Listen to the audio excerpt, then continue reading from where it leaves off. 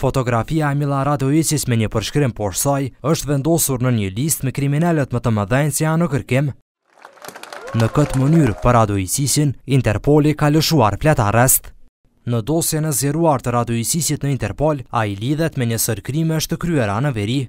Aty përshkruhet detajisht ajo që ndodhi më 24 shtator në Banjskë të Zveçanit dhe krimi për të cilin Radoiçiq e ka marrë përgjegjësinë publikisht.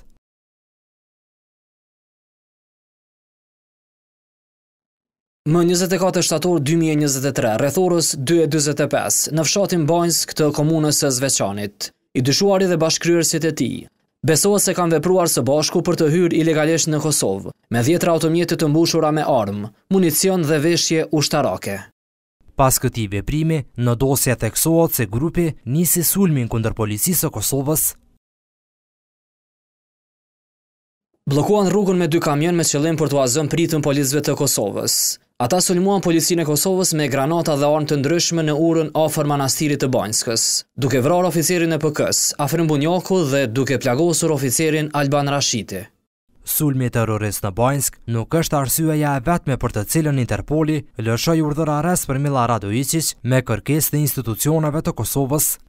Shkak u bënë edhe shumë aktivitete të tjera kriminale të personit që deri vonë mbante pozita kryesore në Listën Serbe.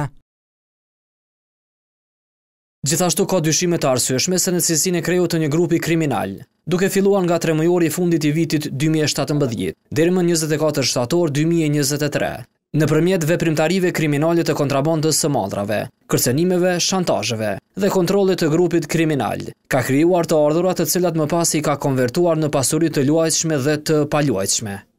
Në dosjen që ka rrjedhur në media theksohet se paratë që i fitoi kundërligjshëm, Radoiçiq i investoi në një vilë, në një penthouse, lokale, vetura e mjete të tjera motorike.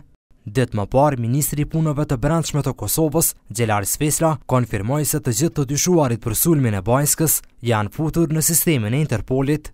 Millan Radoiçiq vazhdon të qëndrojë i lirë në Serbi, derisa kërkesat që eventualisht ai të ekstradohet në Kosovë për t'u ballafaquar me drejtësinë janë hedhur poshtë kategorikisht nga zyrtarë të lartë serbë.